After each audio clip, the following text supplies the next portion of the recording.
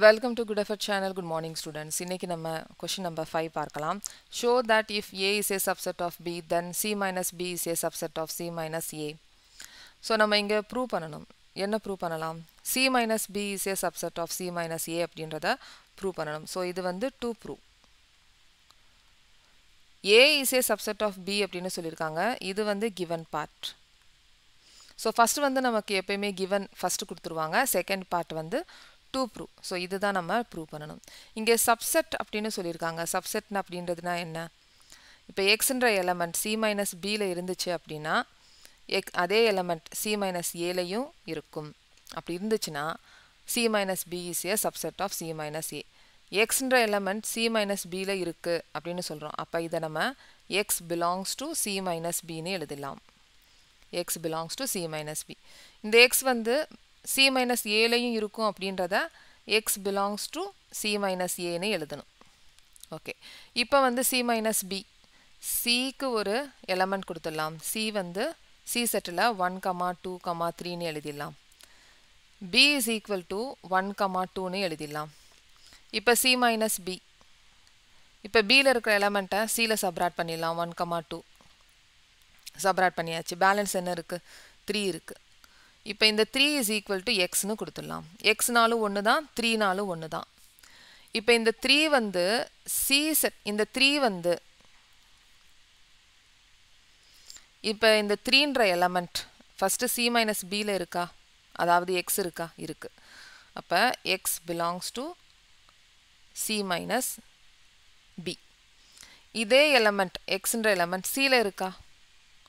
சியில் இருக்குது ஏன்னா எக்ஸ் அப்படின்றது என்னது? த்ரீ அப்போ எக்ஸ் பிலாங்ஸ் டு சி இப்போ இந்த எக்ஸ் அப்படின்றது என்ன? த்ரீ இந்த த்ரீ வந்து பி செட்டில் இருக்கா? இல்லை. அப்போ X does not belongs to B so இந்த மூணு ஸ்டேட்மெண்ட் தான் நம்ம இங்கே எழுத போகிறோம் ஃபஸ்ட்டு நம்ம என்ன எழுத போகிறோம் X belongs to C minus B அப்போ X belongs to C minus B இது ஈக்குவேஷன் நம்பர் ஒன் ஸோ இதை நம்ம எழுதியிருக்கோம்ல இப்போ இந்த ரெண்டு ஸ்டேட்மெண்ட்டையும் எழுதணும். எப்படின்னா X belongs to C X வந்து சி செட்டில் இருக்குது அண்ட் இந்த எக்ஸ் வந்து பி செட்டில் இல்லை. அப்போ X does not belongs to B இது நம்ம எழுதுகிறோம் X does not belongs to B இப்போ given part கொடுத்துருக்காங்கல்ல A is a subset of B இதை யூஸ் பண்ணி நம்ம இங்கே இன்னொரு ஸ்டேட்மெண்ட் அதாவது இன்னொரு ஈக்குவேஷனை நம்ம எழுதணும். எப்படி எழுதலாம்? இப்போ இங்கே A is a subset of பின்னு கொடுத்துருக்காங்க. இதுக்கு ஒரு எக்ஸாம்பிள் எழுதிடலாம். இப்போ A is equal to one comma two B is equal to one comma two comma three இப்போ A is a subset of B அப்படின்னா ஏல இருக்கக்கூடிய எல்லா எலமெண்ட்டும் பிலையும் இருக்கணும். அப்போ A is a subset of B இப்போ நான் வந்து சொல்கிறேன் பியில் வந்து அதாவது ஃபோர் ஃபோருன்ற எலமெண்ட் பியில் இருக்கா? ஃபோர் பிலாங்ஸ் டு பி இருக்கா? ஃபோர்ன்ற எலமெண்ட் பி செட்டில் இருக்கா? இல்லை. Four does not belongs to B இப்போ ஃபோர் இஸ் ஈக்குவல் டு எக்ஸ்னு எழுதிடலாம். அப்போ X does not belongs to B நம்ம என்ன சொல்லியிருக்கோம்? A is a subset of B ஏல இருக்கக்கூடிய எல்லா எலமெண்ட்டும் பியில் இருக்கும் அப்படின்னு சொல்லியிருக்கோம். இப்போ புதுசாக வந்து நான் ஃபோர்ன்ற எலமெண்ட் பியில் இருக்கா? அப்படின்னு கேட்டிருக்கேன். இப்போ ஃபோர்ன்ற எலமெண்ட் பியில் இல்லை. பியில் இல்லை அப்படின்னா ஏல இருக்குமா? இருக்காது. அப்போ X does not belongs to அப்போ X does not belongs to A பீன்ற இந்த புதுசாக இருக்கக்கூடிய இந்த எலமெண்ட் பியில் இல்லை அப்படின்னா ஏலையும் இருக்காது. அப்போ X does not belongs to A இப்போ பியில் பியில் வந்து இந்த எலமெண்ட் இந்த எக்ஸ்ன்ற எலமெண்ட் இல்லை அப்படின்னா ஏலையும் இருக்காது. அப்போ X does not belongs to A so இந்த ஸ்டேட்மெண்ட் அப்படி எழுதிடலாம். X belongs to C and X does not belongs to A ஏன் அப்படின்னா A is a subset of B அப்படின்னு கொடுத்துருக்காங்க. இது கிவன் பார்ட் இதை நம்ம மென்ஷன் பண்ணணும். பியில் வந்து ஒரு எலமெண்ட் இல்லை அப்படின்னா ஏலையும் இருக்காது. அப்போ ஈக்குவேஷன் நம்பர் ஒன்னை வச்சு தான் இந்த ஸ்டேட்மெண்ட்டே எழுதியிருக்கோம். இப்போ நமக்கு உல்ட்டா இந்த ஸ்டேட்மெண்ட் இப்போ இருக்குது இந்த ஸ்டேட்மெண்ட் வந்து இருக்குது ஈக்குவேஷன் நம்பர் டூவை நம்ம எழுதணும். ஈக்குவேஷன் நம்பர் டூவை எப்படி எழுதலாம்? பியில் இருக்கிற இடத்துல நம்ம இங்கே ஏன்னு எழுதணும். பியில் இருக்கிற இடத்துல நம்ம ஏன்னு எழுதணும். மற்றது எல்லாமே அப்படியே எழுதிடலாம். X belongs to C minus A ஏன்னா நம்ம எலமெண்ட் வந்து A is A subset of பின்னு சொல்லியிருக்கோம்ல. அப்போ பியில் ஒரு எலமெண்ட் இல்லை அப்படின்னா ஏல இருக்காது. அப்போ X belongs to C minus ஏன்னு எழுதிடலாம். இது ஈக்குவேஷன் நம்பர் டூ ஸோ நம்ம ஆரம்பத்தில் என்ன சொல்லியிருக்கோம்? X belongs to C minus B இருந்துச்சு அப்படின்னா X my belongs to C minus A இது ரெண்டுமே இருந்துச்சுன்னா அது என்ன ஆயிரும்? சப்செட் ஆயிரும்னு சொல்லியிருக்கோம். அப்போ from equation number one and two C minus B is a C minus B is a subset of C minus A C minus A அவ்வளோதான் hence proved so next question number சிக்ஸில் பார்க்கலாம். Question number six show that for any sets A and B A is equal to A intersection B union A minus பின்னு கொடுத்துருக்காங்க.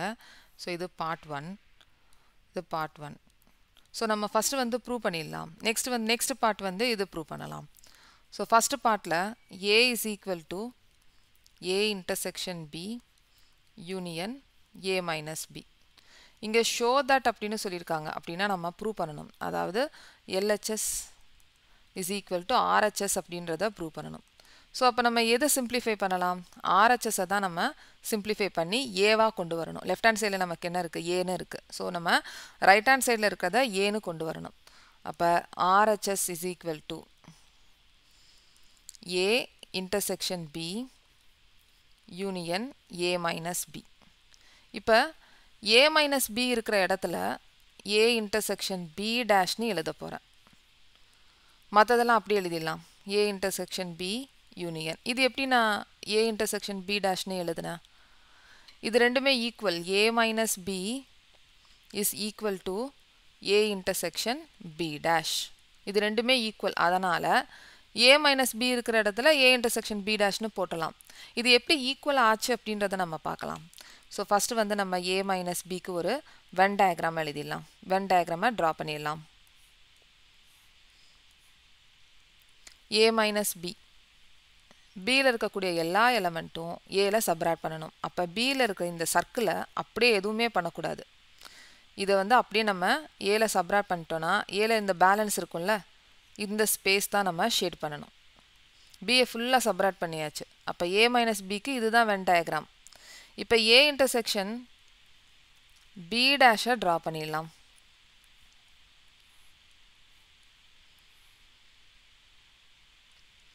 இப்போ A இது B இது A set இது B set அப்போ B dash அப்படின்றது என்னது? பியை விட்டுட்டு நம்ம மற்ற எல்லா இடத்துலையும் ட்ரா பண்ணணும். பியை விட்டுட்டு மற்ற எல்லா இடத்துலையும் ஷேட் பண்ணிட்டோம் அப்படின்னா அதுதான் பி டேஷ் இது வந்து பி டேஷ் இது பி டேஷ் இப்போ நம்ம ஏ இன்டர்செக்ஷன் பி டேஷ் ஏக்கும் பி டேஷுக்கும் உள்ள பொதுவான காமன் காமன் ஸ்பேஸில் வந்து நம்ம ஷேட் பண்ணுறோம் ஏலையும் இருக்கணும் அதே மாதிரி பி டேஷ்லேயும் இருக்கணும். ஏலையும் இருக்கணும் ஏல இருக்குல்ல ஷேட் பண்ணியிருக்கோம் பி டேஷ்லேயும் இருக்கணும். இதுதான் ஷேட் பண்ணியிருக்கோம் அப்போ இது வந்து ஏ இன்டர்செக்ஷன் பி டேஷ் இப்போ இது பாருங்கள் ஏ மைனஸ் பியில் இங்கே தான் நம்ம ஷேட் பண்ணியிருக்கோம்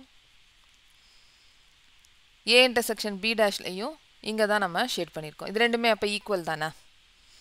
ஸோ அதனால் ஏ மைனஸ் பி இருக்கிற இடத்துல ஏ இன்டர்செக்ஷன் பி டேஷ்னு நான் போட்டிருக்கேன். இப்போ நெக்ஸ்ட்டு வந்து நம்ம டிஸ்ட்ரிபியூட்டிவ் ப்ராப்பர்ட்டி டிஸ்ட்ரிபியூட்டிவ் ப்ராப்பர்ட்டி நம்ம கிளாஸ் எயிட் நைன் டென்த்தில் படிச்சிருக்கோம்ல. A bracket B plus C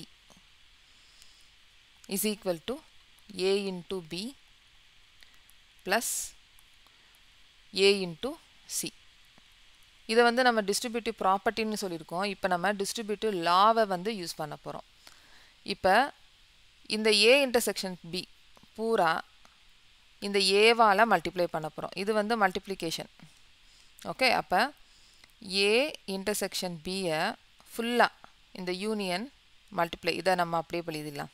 யூனியனை அப்படியே எழுதிட்டு இந்த ஏவை எழுதிடணும். இந்த ஏவை அப்படியே எழுதிடணும்.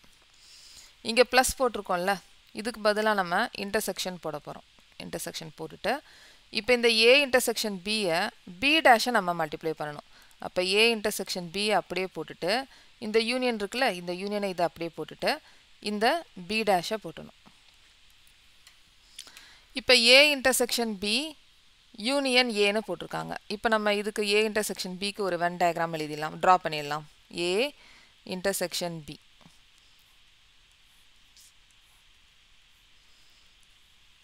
A intersection பியில் இதான் வென் டயக்ராம் காமன் ஸ்பேஸை நம்ம ஷேட் பண்ணிடும் இப்போ என்ன சொல்லியிருக்காங்க? A intersection B Venn diagram draw பண்ணியாச்சு.